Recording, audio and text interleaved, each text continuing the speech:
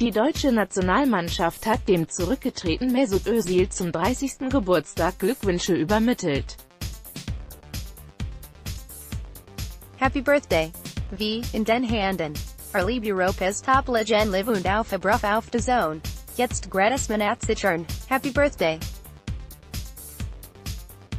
Oktober 2018 Özil hatte nach dem WM-Desaster in Russland nach 92 Länderspielen seinen Rücktritt erklärt. Im Zuge der Erdogan-Affäre erhob er rassistische Vorwürfe gegen den Deutschen Fußballbund DFB.